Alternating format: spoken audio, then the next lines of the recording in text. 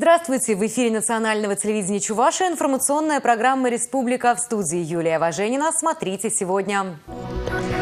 Искусство врачевания. В Чувашии отметили День медицинского работника. Путешествие во времени. В этнопарке Амазония появятся новые объекты. Ковки на час, наладки на день. В Чебоксарах открылась выставка кузнечного мастерства.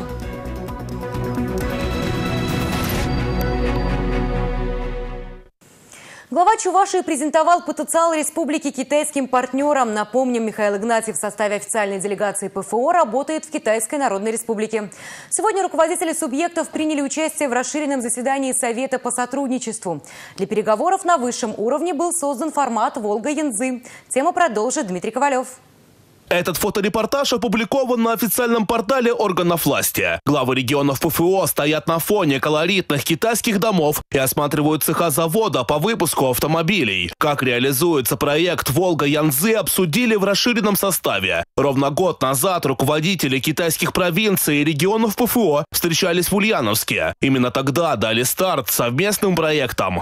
2013年，双方启动两地 Главной задачей Совета мы видим урегулирование стратегических вопросов в формате Волга-Янзы и координации действия отдельных сторон. Сотрудничество между двумя странами началось с нуля, переходя от малого к крупному. Есть и подтверждение в цифрах. В перечень инвестиционных проектов включен в общей сложности 181 проект, а в дорожную карту мероприятий в гуманитарной сфере включено 100 проектов. Чувашия продолжает укреплять связи со страной восходящего солнца. Подписаны соглашения о сотрудничестве с провинциями Сычуань и Аньхой. К действующим соглашениям сегодня прибавился новый договор о партнерстве с народным правительством провинции Хубэй. В перспективе китайские инвесторы намерены открыть в республике современный агропарк. В интервью и Тартас Михаил Игнатьев отметил, что обе стороны заинтересованы реализовать проект в сжатые сроки. Китайские инвесторы уже подписали дорожную карту. Между собой взаимодействуют и вузы стран. Чувашском госуниверситете успешно работает культурно-научный центр Поднебесной. Сейчас студенты из Чебоксар участвуют в молодежном форуме. Главы регионов ПФО станут почетными гостями на его церемонии закрытия. Дмитрий Ковалев, Республика. Производство молока является одной из приоритетных задач в сельском хозяйстве Чувашской республики. Большая роль при этом отводится племенным стадам и продуктивности дойных коров. Акционерное общество «Чувашское» по племенной работе – центр, курирующий молочное скотоводство нашей республики. Агрофирма проводит большую работу по улучшению породных и продуктивных качеств разводимого скота. За последние годы племпредприятие перешло на качественно новый уровень ведения селекционно-племенной работы. Применяются современные научные методы. Приобретаются высокоценные племенные быки. Лучшие были продемонстрированы на традиционной выводке. Мы стараемся обеспечить самым лучшим генетическим материалом. Стала совершенствоваться э, наша работа, наши специалисты. Постоянно проводятся такие семинары, выводки. Стараемся, идем много со временем. На вывозке быков присутствовали руководители и специалисты ведущих животоводческих предприятий. Многие передовые племенные хозяйства республики длительное время сотрудничают с чувашским племпредприятием. Нам очень э, нравится с ними работать. Специалисты нам помогают в подборе быков. Именно в правильном подборе. У нас увеличились надои. Э, это уже э, сказалось на наших показателях. В 2012 году, если надоели с одной фуражной коровы 5675 килограммов, то э, в 2016 году уже надоели 8069 килограммов молока. Быки ООО «Чувашская» происходят от мировых лидеров кальчтинской породы и являются улучшателями породных качеств экстерьера молочной продуктивности коров в стадах республики. Они достойно конкурируют с производителями импортной селекции. При этом спермопродукция быков племпредприятия существенно ниже по стоимости, а по физиологическим параметрам значительно превосходит зарубежные аналоги. Она пользуется широким спросом не только в хозяйствах всех категорий Чувашии, но и в соседних регионах. Потенциал племпредприятия Чувашского на сегодняшний день один из самых высоких в Российской Федерации. На сегодняшний день племпредприятие укомплектовалось самыми лучшими быками, выведены на российских племенных заводах. Это племенные заводы Ленинградской области. И я думаю, что В ближайшее время продуктивность а, чувашских стад значительно улучшится и увеличится за счет именно вот этой вот замечательной продукции. На страже здоровья в третье воскресенье июня свой профессиональный праздник отмечают медицинские работники. В республике в этой сфере трудятся около 19 тысяч человек. Сегодня их поздравляли в Театре оперы и балета.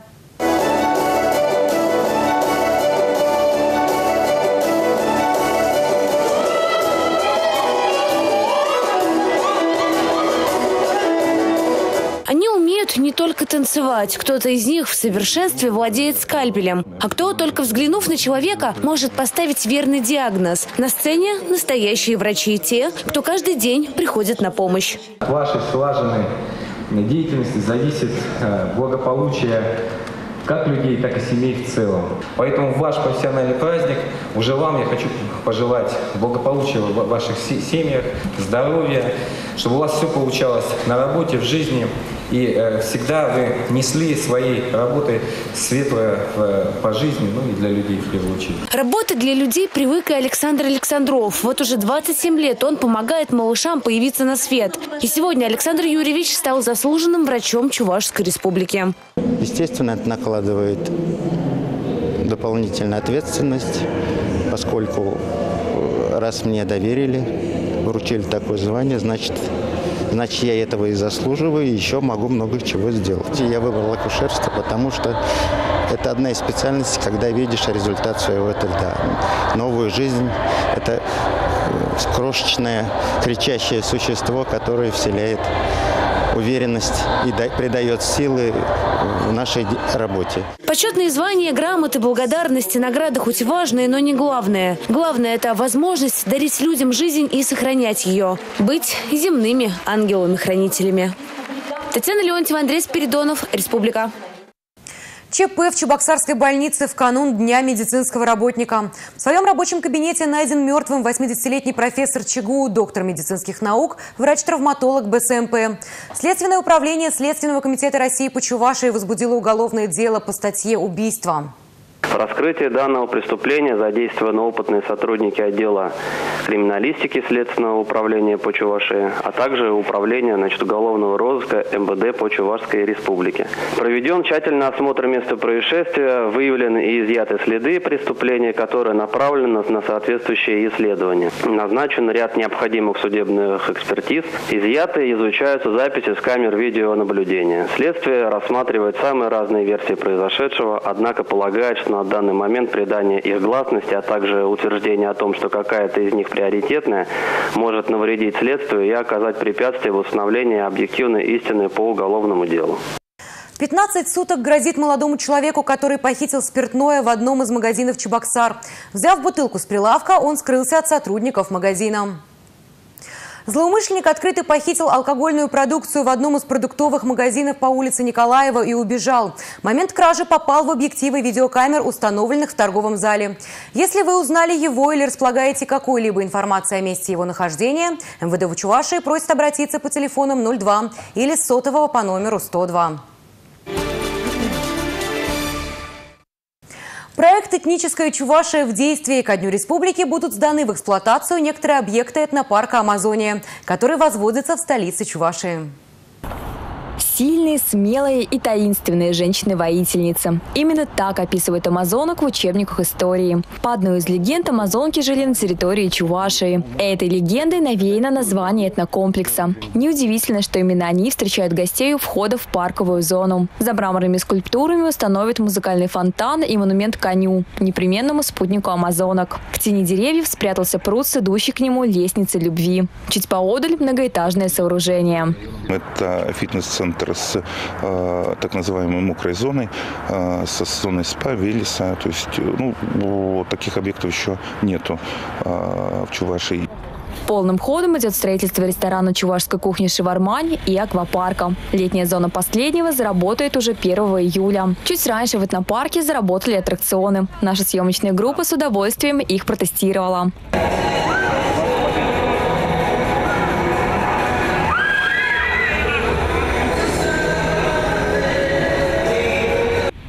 Цепочка, вихрь, центрифуга. Драйва предостаточно. К концу следующего года в Смешарик Ленде появится еще 10 аттракционов. Этнокомплекс развивается благодаря частно-государственному партнерству. Объекты Амазонии финансируются за счет государственных средств и частных инвестиций. На сегодняшний день в, в кластер вложено более 1 миллиарда рублей средств бюджета. Инвесторам также вложено более 1 миллиарда своих э, внебюджетных средств. Сдать весь этнокомплекс в эксплуатацию планируют к концу следующего года. Основные силы будут направлены на благоустройство парковой зоны и строительство административных объектов. На эти цели будет выделено еще 2 миллиарда рублей. Дарина Игнатьева, Александр Петров, Республика. Праздник к нам приходит до Дня Республики неделя. Отмечать начнем с 23 июня. Оставшиеся вопросы обсудили на последнем оргкомитете.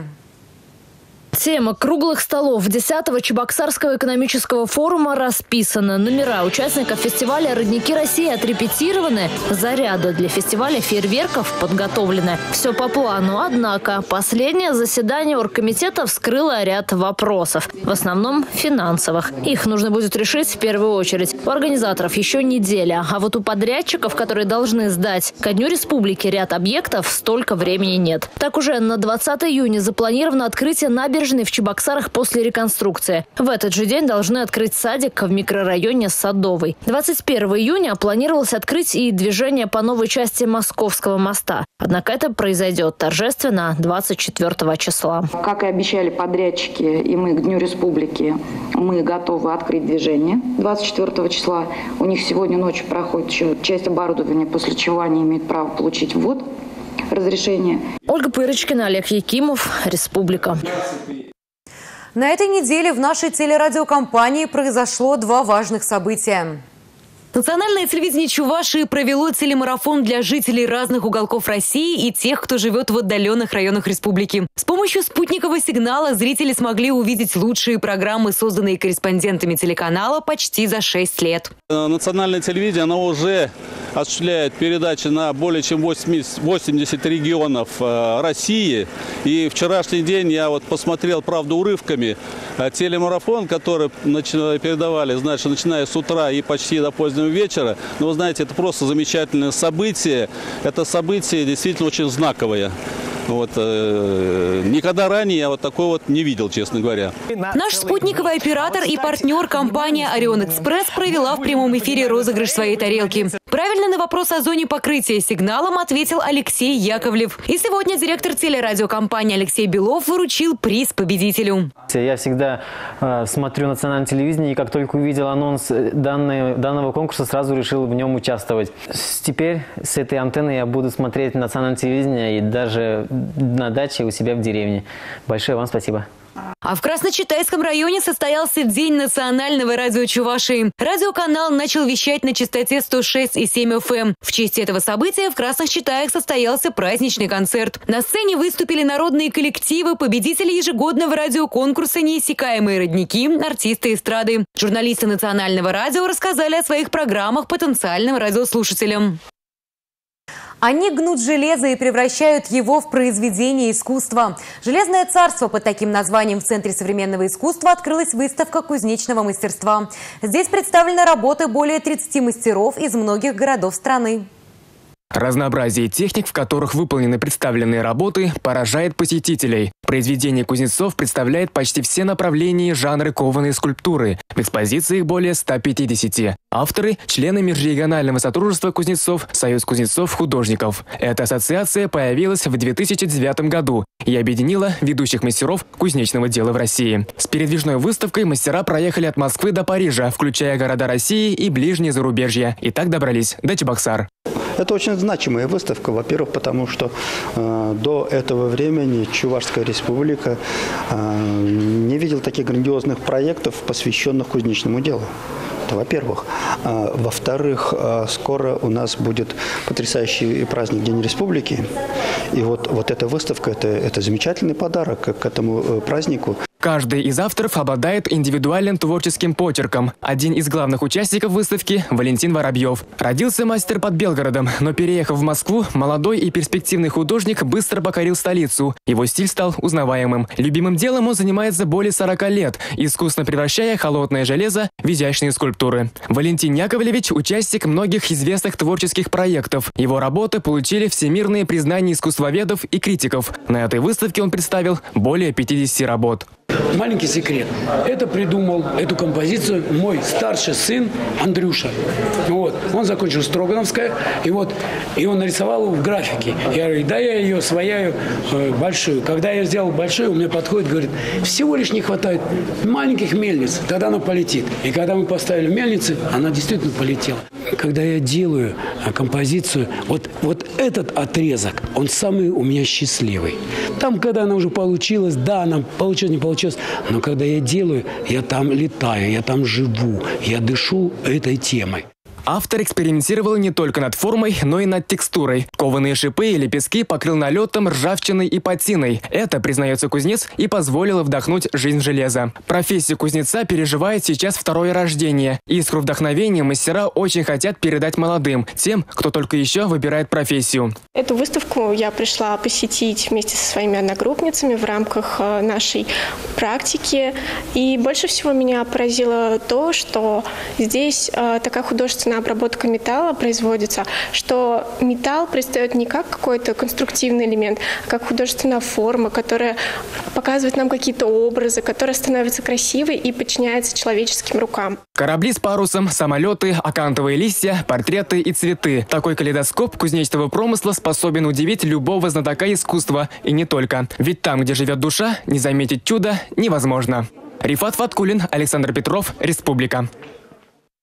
Завтра, 17 июня, в Чебоксарах День здоровья. В городе пройдут спортивные мероприятия, в спортшколах организуют бесплатные занятия, например, по настольному теннису. Подробнее на сайте администрации Чебоксар.